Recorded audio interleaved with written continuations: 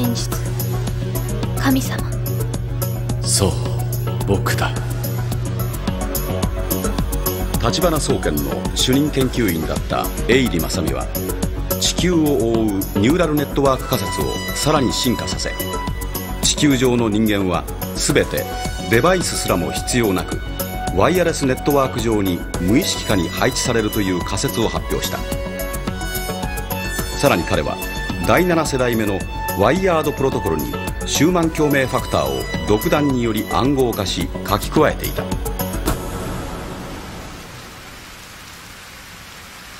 事態を知った立花総研は永利を解雇。その1週間後永利正美は山手線上で溺死体として発見された。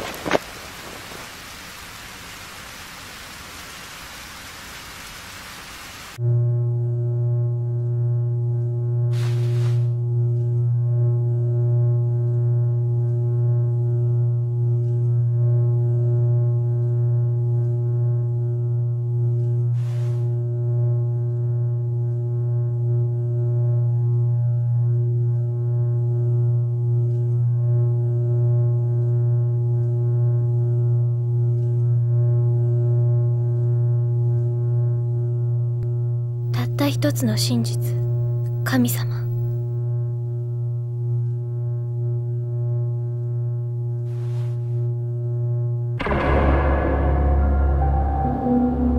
そう。僕だ。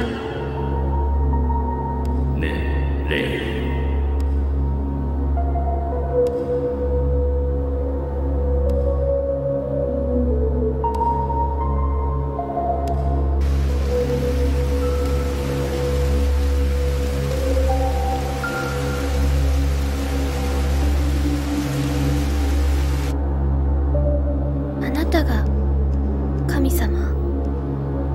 そう。僕が神様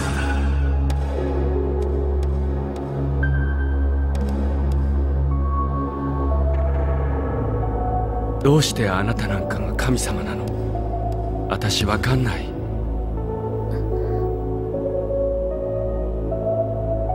あなたは死んだんでしょ？ただの人間として。そんな人が神様になんてなれるはずないじゃない。僕は肉体なんてものが不要だと分かったんだ。死というのは単に肉体を捨てただけのことさ。それは千沙ちゃん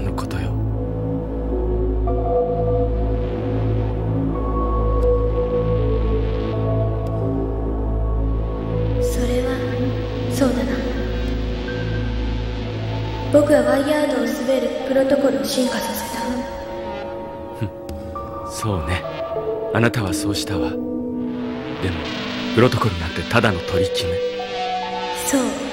しかし僕がもっと高いフェーズで機能するコードを暗号化して書き込んでいたそれで？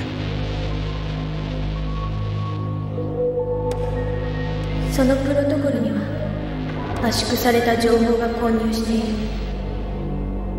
どんな情報かしら？人の記憶。この私永利正美という男の思考履歴記録情緒。それがどういうことを意味しているのかしら？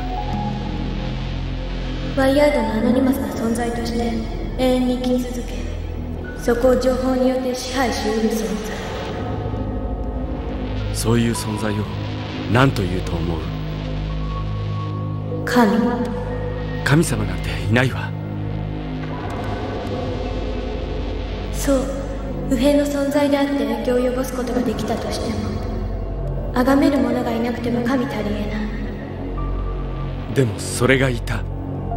いいえ作ったのね。ナイツ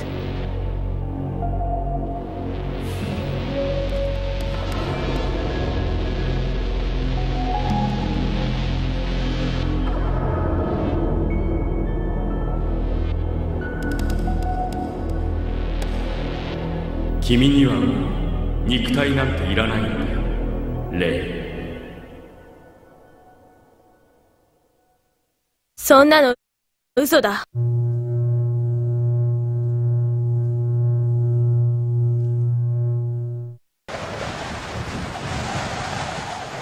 どうするさてどうしようかな。お祈りする人がいなくなっちゃったよ。それじゃあ神じゃなくなっちゃうね。でも全員消えたわけじゃない。一人でも信仰を持つ者がいれば僕は神でいられる。誰？嫌だな。君のことさレイ君が君でいられるのは僕のおかげなんだよ君はもともとワイヤードの中で生まれた存在なんだ。ワイヤードの中の伝説。ワイヤードの中のおとぎ話の主人公。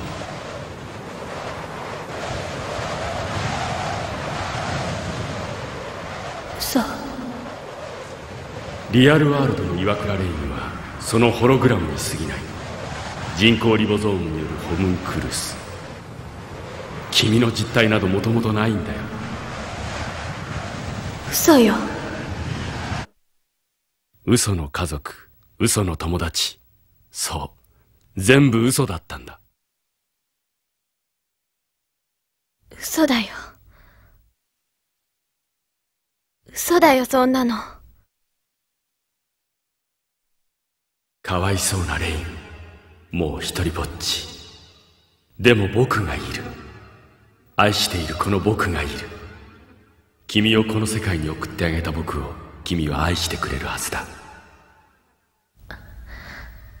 僕は君の創造主なんだ。僕を愛して。ねえレイ。ンもう一人の。え。もう一人の私が。もう一人じゃない。本当の君さどっちでもいいよそんなの。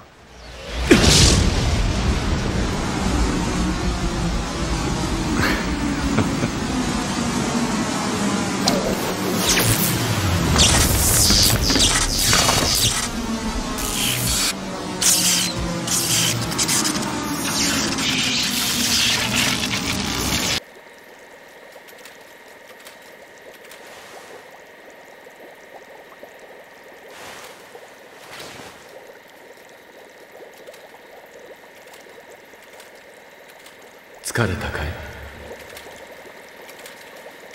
疲れた。すごいんだね。やっぱり君は君自身の脳にあのナビのエミュレーターをロードするなんて。そんなに一度に情報を浴びたら危ないよ。君の今のキャパシティではオーバーフローしてしまう。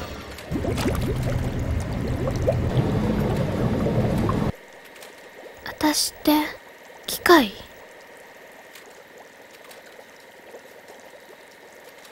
私を機械みたいに言わないで。そんなつもりはなかった。これはあくまでもソフトウェアの問題さ。レイ君はソフトウェアなんだよ。ハードウェアなんかじゃない。ソフト。そう。実行プログラムなんだ。肉体を持ったね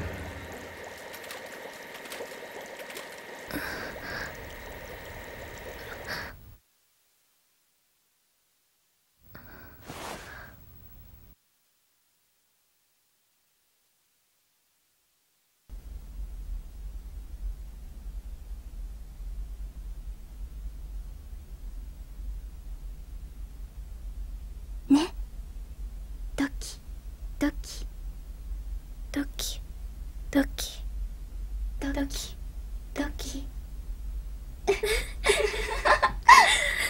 どうして？どうしてかな？怖いからだよ。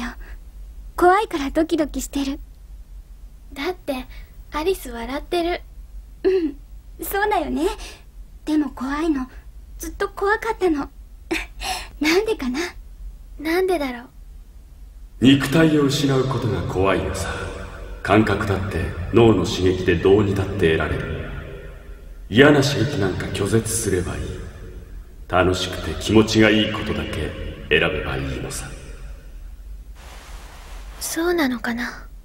レイン誰かと話してるの？その子が好きだったらどうしてつなげてあげない？わかんない。レイン誰と話してんのってばレイン！バグっているね。いいよ。時間をかけてデバッグしてあげるからね。さあレインおいで。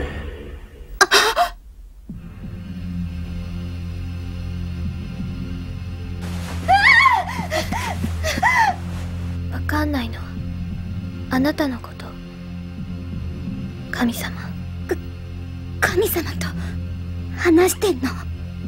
わからないのは何だって言うんだいレイ。ンあなたができたことはワイヤードからデバイスを解放すること。電話とかテレビとかネットワークとかそういうのがなくちゃあなたは何もできなかった。そうさ。それらは人間の進化に伴って生まれたものじゃないか最も進化した人間はそれにより高い機能を持たせる権利がある。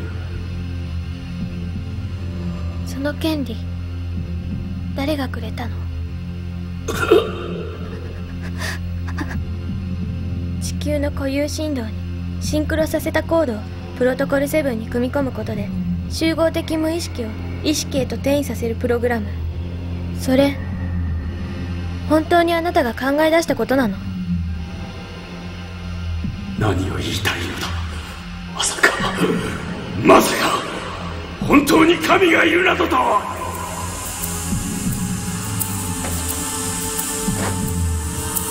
どっちにしろ肉体を失ったあなたにはもうわからないこと。嘘だ。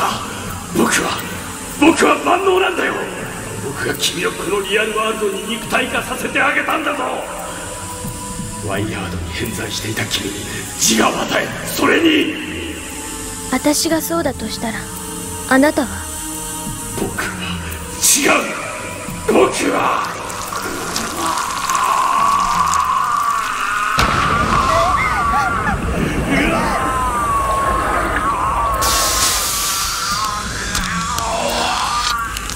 ワイヤードリアルワールドの上位階層じどういうわけだ？あなたは確かにワイヤードでは神様だった。じゃあワイヤードができる前はあなたはワイヤードが今のようにできるまで待っていた誰かさんの代理の神様。代理だ嘘だ。